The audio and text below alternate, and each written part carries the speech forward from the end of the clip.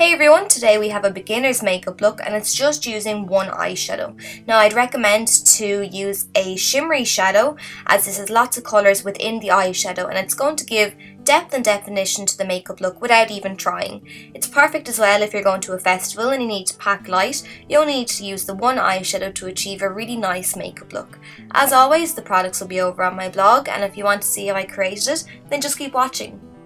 As always, I'm going to prime the eye area with an eyeshadow primer. If you don't have one of these, don't worry, just take a bit of your foundation and a little bit of your face powder and apply it on top, and this is going to provide the perfect base for your eyeshadows. So next you're going to take your eyeshadow of choice. I'm using this kind of taupey brown shade. Like I said, try and pick up an eyeshadow that's shimmery because this will already have different flecks of colour in it. So it makes it much easier to give some depth and definition to the eye makeup look. So once you've applied the colour all over the eyelid, then we're going to work on our shape. I always opt for an elongated eye shape as that's just my preference. So I'm taking my definer brush and I'm starting to pull the colour outwards towards the end of my brow. Then you're going to want to start from that line and sweep the colour inwards onto the lid into the crease area.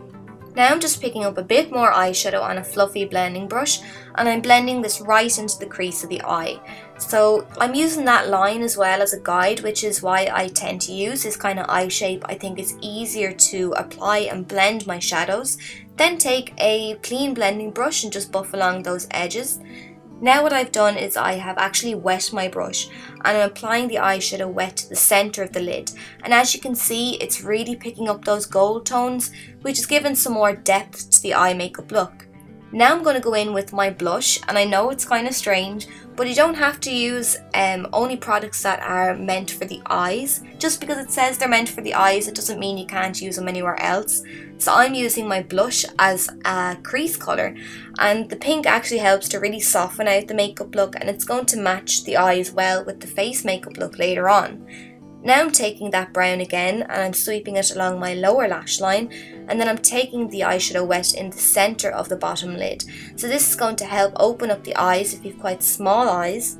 Then I'm going to curl my lashes so I'm just giving them a good squeeze and then I'm using my finger just to feather out the lashes to make sure they're nicely separated before I apply my mascara. Then my mascara of choice, I'm using this number 7 one. If you use this one, make sure to wipe off the excess mascara and I'm just applying this liberally to my top and bottom lashes. So if you want to, you can take your face highlighter and apply this under the arch of the brow to make that area pop. And as you can see, the makeup look isn't very flat even though we used one eyeshadow. Now we're going to move on to the face.